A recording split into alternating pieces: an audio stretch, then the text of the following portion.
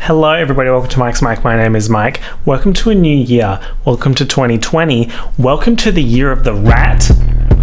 If you thought we thrived in 2019, oof, 2020 is our year. So, since it's the year of the rat and I'm reaching my maximum power, I thought I would tackle one of the most difficult things that I could possibly do on my channel, and that is rank childhood shows because that is just no easy task. So, just before filming this, I went through all of the networks that I would have watched shows through, so like Nickelodeon. Cartoon Network, Disney Channel, all that jazz. And I screenshotted all the shows that I watched, all seemed familiar. Now, I've got 69 shows. That wasn't deliberate, but I mean, it's the year of the rat. We're just gonna, yeah. Before I go through the tiers, I just want to make a disclaimer and say that if I'm going through these and you know that I'm 24 and I bring up Dora the Explorer and you're like, the timelines don't match, you weren't Dora the Explorer age when Dora the Explorer came out. No judgment. Don't judge me. You know, maybe I had a rough day at school and I came home and Dora the Explorer was on and I just turned that on and I was like, damn, she really be making points with that map. Okay, so the tiers that I've got are very much skewed to the positive side because when you look back at these shows, you're like, oh my gosh, nostalgia, future nostalgia. Stream Dua Lipa. So at the top of the list, I've got Legendary in all caps. Now, a show that's in Legendary tier is untouchable. It can't be touched hence untouchable. It'll make more sense when I put a show in the legendary tier, but just know that legendary is above iconic, but also is iconic in itself. But the iconic shows are not necessarily untouchable. Much to consider. Iconic shows, you know, if this was any other kind of list, these shows would be at the top. But because it's legendary untouchable all caps tier, and they don't quite fit that, but they're still iconic. The next one is Global Top 50. Now, bear with me on this one. It's 1:32 a.m. and I just downed a can of vanilla Coke and I just wrote that tier, and it made so much sense to me when I did it. And now I'm like, oh my gosh, Angie. So, Global Top 50 to me means middle ground for me, but maybe someone's iconic or legendary tier because on Spotify you have the Global Top 50, and sometimes I'm scrolling through those songs and I'm like, how? And why. But if a song's in the global Spotify top 50, then it has to be good and people like it. So then I've got I Don't Know Her tier. Now, this is, of course, referencing Mariah Carey. Und was ist mit J-Lo? Die kenne ich nicht. Oops. A show that's in I Don't Know Her tier is something that I remember watching, but I don't really remember enjoying, or I wouldn't be able to tell you characters and plot points. Whereas, like, if you put a legendary or iconic show in front of me, I'd be like, oh, yeah, for sure. I know what happens there, and I know who's who and what's what, and when's when and how's how, and where's where. Uh. And then, so the duality of life. We had Caps legendary, now we've got Caps disgusting. Does somebody not know how to flush a toilet after they've had a shit? That's not me. Well, it was fucking one of yous. Disgusting! A show that is in the disgusting tier is something that I pulled from the recesses of my mind. Perhaps also a repressed memory that should have stayed in that dark corner that I came from. And don't forget, I am Australian, so this may be skewed to the Italians. Australians. So I'm going to start with Rugrats All Grown Up because I think this is a good litmus test for what's to come. Rugrats All Glown. Glown? Oh, glowed. Rugrats all glowed up. Rugrats all grown up to me is global top 50 because Rugrats tiers above, but Rugrats all grown up, it's like, why did this happen? I remember watching Rugrats all grown up and thinking, this is kind of strange and I feel uncomfortable. Why is Tommy large? And why is his hair that color? And the baby brother, why does he have red hair? Why would they do that to him? So, to continue calibrating the list, I'm going to put a legendary show, and that is Lizzie McGuire. Hey, I'm Hilary Duff from Lizzie McGuire, and you're watching Disney Channel. Does it make sense now? Are we there? Are we seeing what the legendary tier involves? She's untouchable. Like, you can't do shit to Liz McGuire. She's so iconic that they're rebooting the show like 20 years later. Like, that is legendary level. And like that little cartoon bitch that she had like sometimes on her shoulder and like taking up her own little scenes, that was like Ugh, yes. So an example of iconic would be the Amanda Show. Maybe I just wasn't cool enough to appreciate the Amanda Show to the full extent. I kind of hate this scale now because why did I make iconic less than legendary? because it makes it sound like iconic is not a good thing because it's not number one. Oh my god, wow, I just exposed what's wrong with our entire generation. If we're not number one, we think we're doing terrible. Whew, I just saw something that raised the heart rate and made me a little bit mad. And that's this little bitch. Kaio, Caillou, what the fuck, whatever. I don't care. Disgusting. I didn't vibe with that pebble headed ass one bit. Like, he just rubbed me the wrong way. Like, how can it be annoying and ugly? Like, pick a struggle. An example of the I don't know her tier would be Dave the Barbarian. Like, I remember watching this. I remember there being a castle, but I literally cannot remember anything else about the show, so hence, I don't know her. All right, let's just get into it. Good luck, Charlie. Good luck, Charlie. I think that would be. Oh, is that iconic or global top 50? Think, think, bitch, think. Thought about it? Get fucked. Okay, I thought about it. Get f- I think I'm gonna put Good Luck Charlie in Global Top 50. No, I have to put them in iconic because everyone says that, like, year 10, 11 me looked like Gabe from Good Luck Charlie.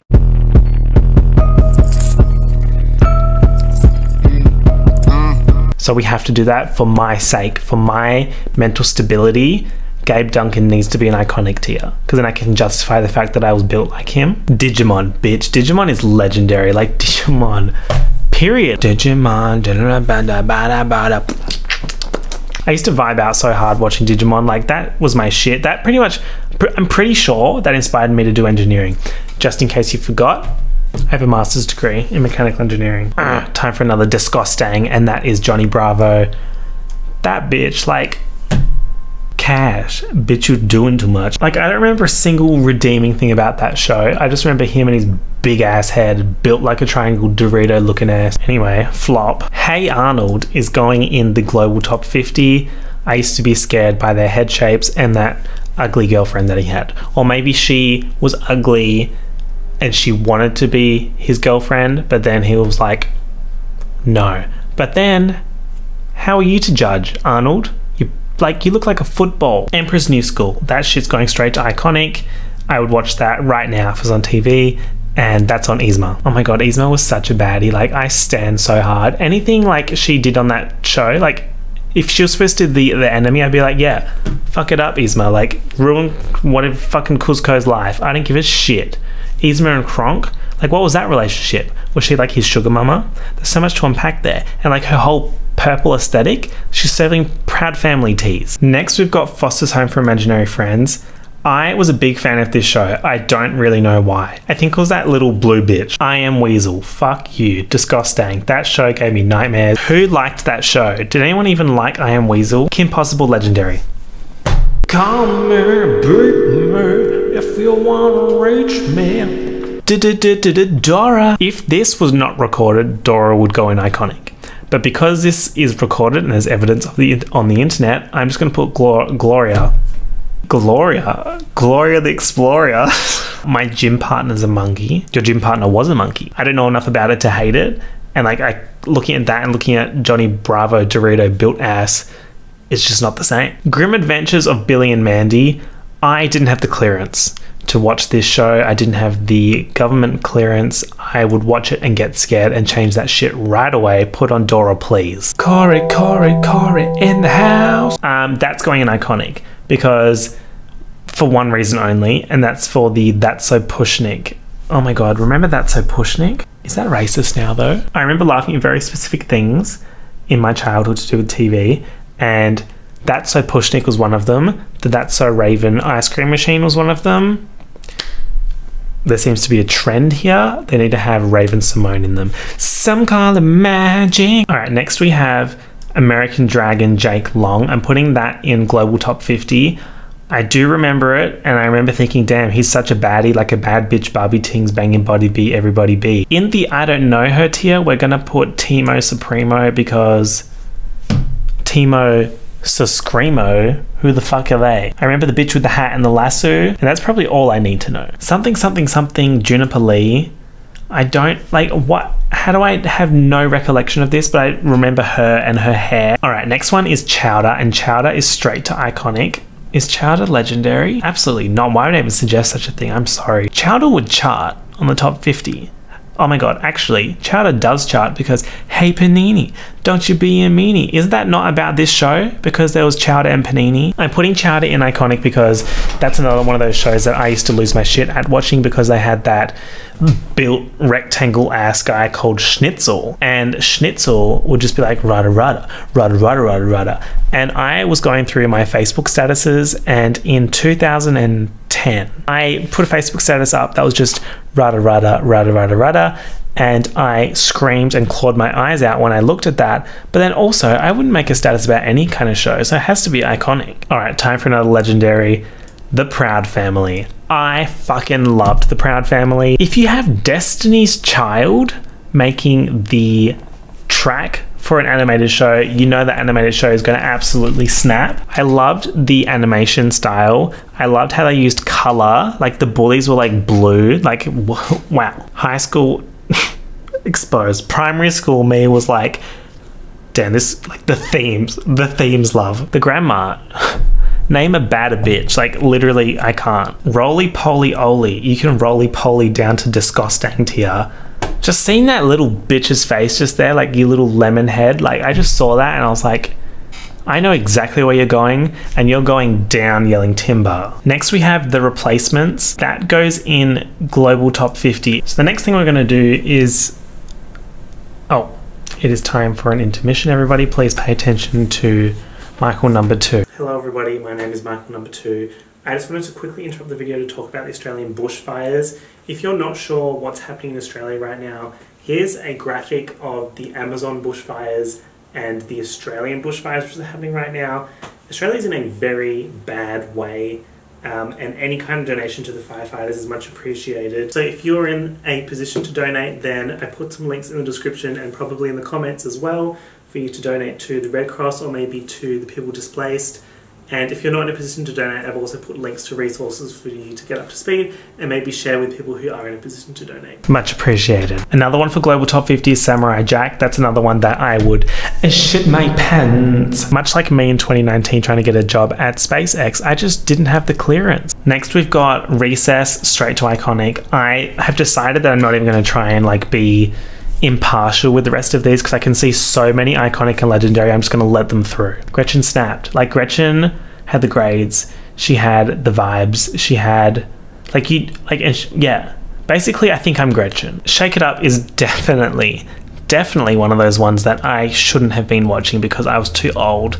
Um, but that is Global Top 50. Teen Titans, this is controversial and I'm ready to get cancelled for this hot take. Teen Titans is legendary, 100%. I'm having a hard time articulating this beyond. It was so good, but this was just so good. Bear in the Big Blue. Oh my god, why was I like really announcing those bees? This is for Rachel. This is for Bear in the Big Blue House. Bear in the Big Blue House, I think, is iconic because that was my shit. I used to like bust down Barbiana to that. And like that song that the moon would sing when they're all trying to go to sleep, I was like, I can't go to sleep until that bitch sings that song. Like, don't even try and get me to hit the hay because I will not until the moon says to do so.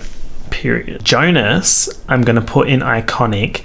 And then Jonas LA, I'm going to put in I don't know her. But wow, a moment that's most pleasing to me in my career. Hannah Montana. Got the limo out front Hannah Montana was that bitch. Like, that show was so good. I think I watched every single episode. However, when I found out that that actor who played the brother, Jackson, was like 30 when he was in Hannah Montana, that kind of, I was just be like. Next, we have Drake and Josh. Drake and Josh is iconic, obviously. And then attached to that, we have iCarly. Is iCarly legendary?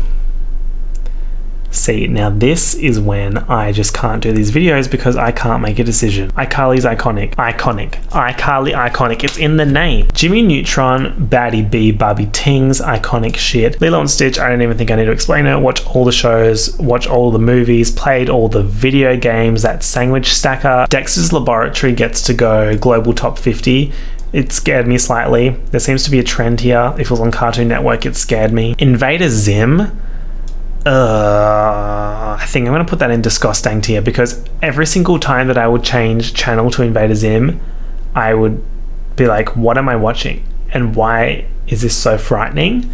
And why am I 13 and scared at this?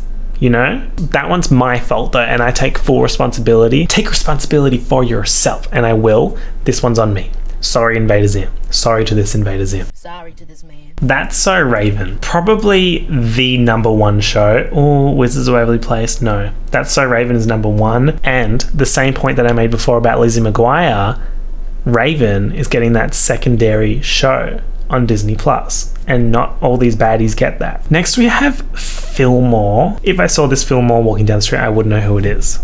Sorry to this Fillmore. I mean, he could be walking down the street. I wouldn't. I wouldn't know a thing. Scooby Doo, where are you? That's iconic. I'm losing my voice, which is not iconic. It's quite flop behavior, and I apologize. Suite Life of Zack and Cody, my god, that's legendary. And Suite Life on Deck, I think that's iconic. So I'm about to make an extremely important point, and that is that the crossover events, so that's so Suite Life of Hannah Montana, that shit hit on a different level. That was a global event. It was the greatest crossover in cinematic history. Marvel teased before Marvel. Like Marvel got the inspiration for Infinity War and the Avengers essentially from that So Suite Life of Hannah Montana. I was actually like watching an interview and what's his name? Kevin Feige was talking about how he was inspired by that So Suite Life of Hannah Montana because like they managed to get all these like different franchises into one cinematic universe. Like that's huge. When that special dropped, I lost my mind because I was like, holy shit, these are all connected. Raven knows about Hannah Montana, and then they all interact with Zack and Cody. I screamed. I was not the same after that. Courage the Cowardly Dog, when I googled this, they didn't give a picture, and I was like, that's very fitting because I don't know her. Or do I know her? Muriel. Rugrats, iconic. No. Wait, all Rugrats legendary or iconic? Rugrats is legendary because it was one of the first shows that I stand. Let's be real, I was standing Angelica and the other flops were like, okay, but Angelica was the baddie. If Angelica released pop music in 2020, I would stream it. Absolutely. Even Stevens. Hmm. That is global top 50 because I remember parts of it and I remember enough to not put it in the I don't know her tier, and it's absolutely not disgusting tier because I enjoyed it. Justice League is global top 50. Ed, Edd, and Eddy is global top 50 again. Cartoon Network. I was in the right headspace to be watching those shows because I would get scared and I'd get annoyed and I'd think, why am I watching this when I could be watching Dora? Tom and Jerry is global top 50. Total Drama Island is top 50. Fairly Odd Parents, Fairly Odd Parents, Matthew, Rabbit Gill, stand up in Chocolate Shake. That's iconic. Ben 10. Hmm. Why was I watching Ben 10? I was beyond Ben 10 age. But that show was fun. It was very much Digimon, actually, now that I think about it. I think I liked Ben 10 because I like Digimon. Wow. Arthur is global top 50 for me, but I know a lot of you bitches would put it in iconic. And see, if the show was called DW and it was just about DW, it would be legendary. But it's not, so it's not. Sunny with a Chance that is global top 50. I was not a Demi Lovato stand from the start. Totally Spies, bitch, that shit's straight to legendary. Charlie's Angels Who, Totally Spies was just, oh my god, the lipstick fucking laser. Who's doing it like them, honestly? Phil of the Future is global top 50. Blues Clues is iconic. Don't ask questions. Phineas and Ferb. I was going to put Phineas and Ferb in iconic, and I was like, wait a minute, love. That's legendary. Here's a hot take for you. I feel like the Big Bang Theory got their song from Phineas and Ferb because Big Bang Theory is like the. Shut up. But Phineas and Ferb is like a summer vacation and goes my just to end them. So the annual problem. Discovering something that doesn't exist, or giving a monkey a shot. And then the fact that they're built like their names, like Phineas is built like a P, Ferb is built like an F, Candace is not really built like a C. Maybe it's with a K. Candace. Candace. Magic School Bus is top 50. Powerpuff Girls is is oh my god, is this iconic or global? It's global. Zoey 101 ooh is iconic. Zeke and Luther, like I vaguely remember that. That's I don't know her tier. That's a prime example. That's probably why I made that tier. SpongeBob SquarePants is legendary. Like let's not even mess around. Also, I realized after all this time, I wanted to be SpongeBob or Patrick or Sandy, and I really came out to be just a Squidward slash Plankton ass bitch. Next, we have Wild Thornberrys. I'm generally sweating because this is so difficult. This is iconic. That show was so much fun. And it had that annoying little brother who was like, Ned's Declassified. That is iconic. Art Attack is global top 50 or iconic. Nah, nah, nah. Art Attack is iconic. Who am I kidding, honestly? Okay, this is a hot take. Pokemon is iconic. A cancellation today, perhaps. I can't, with logical and sound mind, put Pokemon in the same tier as Digimon. I just can't do that to my baddies, you know? And we're gonna wrap up with two absolute legends. We've got Wizards of Waverly Place and Disney Channel games, bitch. Disney Channel motherfucking games. So before I said that That's So Raven was my number one, actually, revision to that, That's So Raven was number one for a period, and then Wizards of Waverly 2. Two? What the f- oh my god. Wizards of Waverly Place was number one for period two. Period. What's that? A hat, a crazy, funky, junky hat overslept, hair unsightly. Oh, she is unsightly. Trying to look like Keira Knightley. We got so much from Wizards of Waverly Place. We got Selena Gomez from Wizards of Waverly Place. We got David Henrie, who brought a gun to an airport. We got him from Wizards of Waverly Place too. And then Disney Channel games. What is there to say about Disney Channel games? That is an Avengers level threat. When I said that That's So Suite Life of Hannah Montana was the most ambitious cinematic crossover, it's got nothing on Disney Channel games. Bitch, we had High School Musical and shit in there. Like the sheer amount of iconicity that would be in an episode of that show, I can't. Like even thinking about it, I'm getting sweaty let's have a look at the list from the bottom up. Can I get that Tron? Can I get that Remy? Can I get that Coke? Can I get that Henny? Can I get that Margarita on the rock, rock, rock? Can I get salt around that rum, rum, rum, tray? I was like, yo, Trey, do you think you could buy me a bottle of rose? Let's kick it now. I'm with the bad bitch. He's with his friends. I don't say hi. I say keys to the bands. Keys to the bands. Keys to the bands. Motherfucking right, right, beats the 10. If a bitch tries to get cute, I'm a slugger. Throw a lot of money at yeah, yeah. Throw a lot of money at a then, yo, fucker, fucker, fuck him. Then, yo, fuck him. Th- then I'm gonna go. Then I'm gonna go and get my Lewis. Then then I'm gonna go and get my Louisville Slugger. Excuse me. I'm sorry. I'm really such a lady. I rep Young Money, you know, Slim, baby. And we be doing donuts while we waving the 380. We give a lot of money to the babies out in Haiti, singing all around the world. Do you hear me? Do you like my body? Anna Nikki. Oh, rest in peace, Anna Cole Smith. Yes, my dear, so explosive. Say hi to Mary, Mary Joseph. Now bottoms up my double my dosage. That was very stressful, and I feel like you're gonna tear me to shreds, but just know that I did my best. That brings me to the end of this video. I know it was a long one, so if you stuck around this far, Thank you so much for watching. As I said before, if you're able to donate to the Australian Bushfires, I put some links in the description and also some resources that you can share around if you are not in a place to donate. If you liked this video, feel free to leave a like. If you've got something to say, and I know for a fact that a lot of you are going to have something to say, then leave me a comment. And if you're not subscribed already, hit that subscribe button. We're getting kind of close to 200,000 now, which I can't think about it for too long, otherwise I will combust. Thank you so much for watching. I hope you enjoyed the video, and I'll talk to you all soon. Peace out. Bye and that's on Keira Knightley. Welcome to the end screen.